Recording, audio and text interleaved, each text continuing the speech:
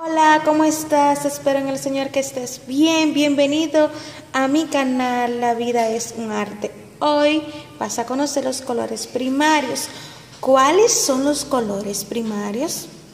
¿Y por qué se llaman colores primarios? Antes de leer, responde. se considera color primario antes llamado color primitivo, al color que no se puede obtener mediante la mezcla de ningún otro color.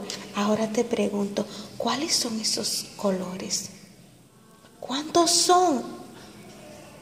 Mm, ahora te digo, los colores primarios son rojo, azul y amarillo. Hice tres círculos y lo escogí estas crayolas. Voy a pintar el rojo aquí y vas a pintar de forma inclinada. Aquí. Con, mira cómo vas a sostener la crayola. Suave, no puede usarla así. Ahora la vamos a usar así, bien suave, de forma inclinada. Miren, miren que no estoy haciendo esto, estoy haciendo esto hacia arriba. Miren aquí, de forma inclinada. Hasta llegar aquí. he terminado.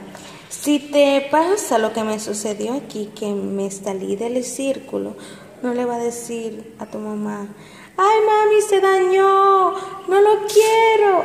En arte no se daña nada. Escucharon el timbre, por lo menos se recuerdan. Entonces, si no tiene crayola, y si no tiene pintura puede recortar un, un, suéter, un papel que sean de esos colores y va a hacer un círculo y lo va a pegar o papel, eh, papel de construcción.